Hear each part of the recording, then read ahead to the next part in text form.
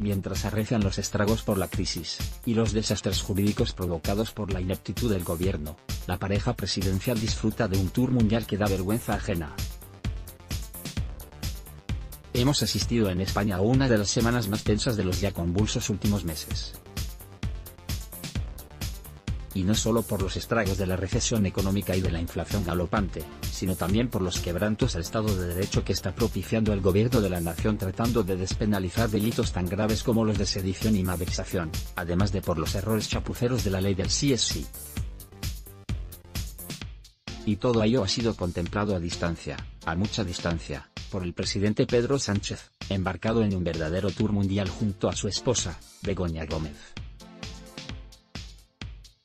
Tras un periplo por Kenia, los inquilinos de Moncloa pusieron rumbo a El Cairo para la cumbre del clima, y de ahí a Bali para la reunión del G20. Delta, parada en Corea del Sur para un viaje oficial.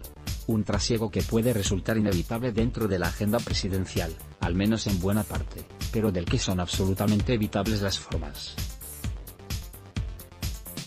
Al menos, con la que está cayendo, ahorrarse determinadas poses y posados y no dar por obligatorio el acompañamiento de la esposa del presidente deberían ser unas atenciones mínimas para el sentir de una ciudadanía desconcertada ante una realidad cada día más agobiante e incierta. Y en estas horas duras y asfixiantes, la opinión pública asiste al desfile de la pareja presidencial por aeropuertos, residencias de lujo y recepciones fastuosas. ¿De verdad es necesaria esta exhibición de burda magnificencia para defender los intereses de España en el mundo?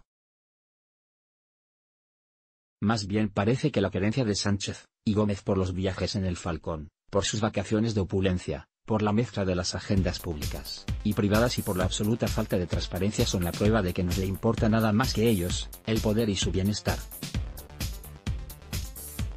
y como parte de los privilegios de ese golpe de fortuna que los aupó hasta la Moncloa están estas obscenas vacaciones perpetuas. Y nada ni nadie les impedirá exprimirlas hasta la última hora del último día.